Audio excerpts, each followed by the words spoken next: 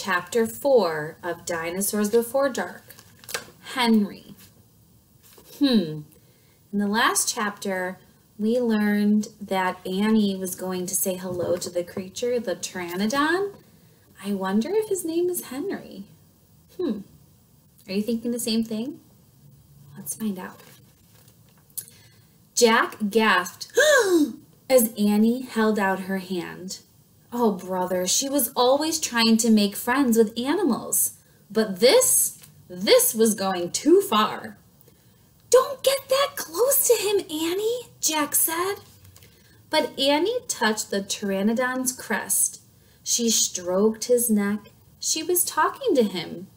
What in the world could she be talking to him about? Jack took a deep breath. okay, he would go down too. It would be good to examine the creature, take some notes and observations like a scientist. Jack started down the rope ladder. When he got to the ground, Jack was only a few feet away from the creature. The creature stared at Jack. His eyes were bright and alert. He's really soft, Jack, said Annie. He feels like Henry. Jack snorted. He's not a dog, Annie. Oh, so who is Henry then? Maybe Henry is their dog. Feel him, Jack, said Annie. Jack didn't move. Just don't think, Jack. Just do it.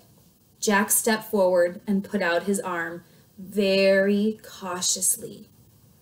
He brushed his fingers down the creature's neck. Interesting.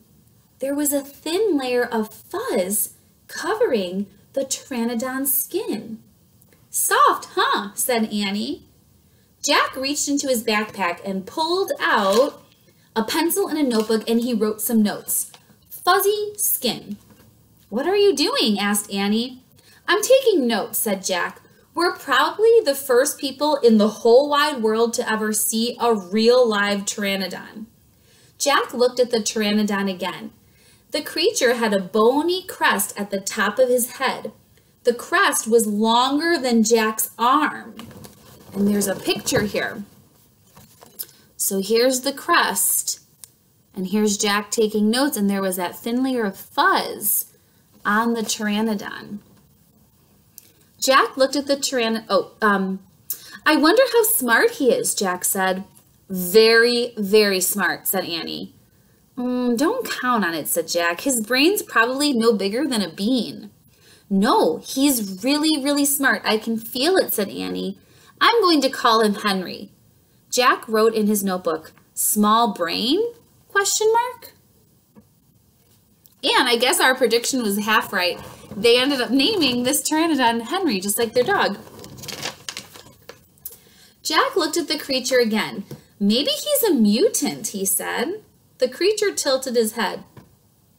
Annie laughed. He's no mutant, Jack.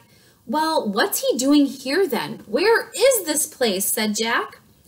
Annie leaned close to the pteranodon. Henry? Henry, do you know where we are? she asked softly. The creature fixed his eyes on Annie.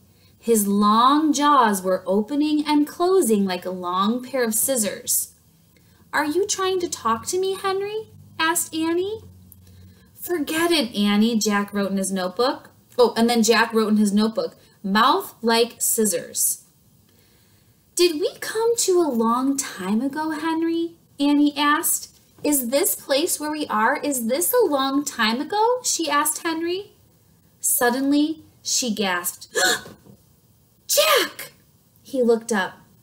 Annie was pointing toward a hill. On top of the hill stood a huge dinosaur. End of this chapter.